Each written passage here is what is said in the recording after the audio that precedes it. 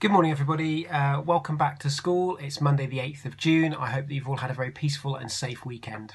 Um, as I said to you in my message last week, um, from Monday, the 15th of June, we'll be welcoming back year 10 and 12 students back into school, um, and we're really looking forward to this to this next development.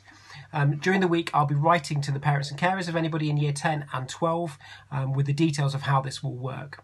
What you may have heard on the news is that um, we will only be able to have about a quarter of the year group in on any one day. Um, so therefore, we'll make we're making arrangements for how that will work, and we will let you know um, tomorrow on the details of that. If you are in year 12, your teachers will be contacting you directly. Um, so your individual subject teachers will be getting in touch via email on the days and about the arrangements of when you come in again, it won't be normal classes, it won't be classes and subjects as normal, um, but you will be able to attend um, and get some support from your subject teachers with the work that you've been doing at home and continue to do at home. Um, thank you to all of you who um, have been able to get into and enjoy some of the live lessons that your teachers are starting to use and are developing at the moment.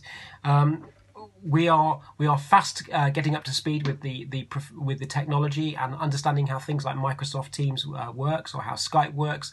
Um, but I hope you're, you're really enjoying those. If you do get the opportunity, you do get offered the opportunity to be part of a live lesson, then please join it. Please please be part of it. I know that Mr. Graham is desperate to get um, more of his year eights into his geography lessons, so please do that.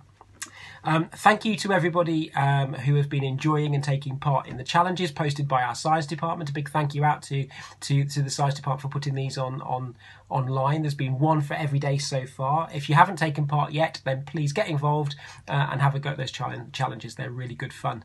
Okay, so I will leave it to you to to, to get on with your work for the week. Um, have a really good, safe week, um, and I'll see you again next Monday. Thank you. Bye bye.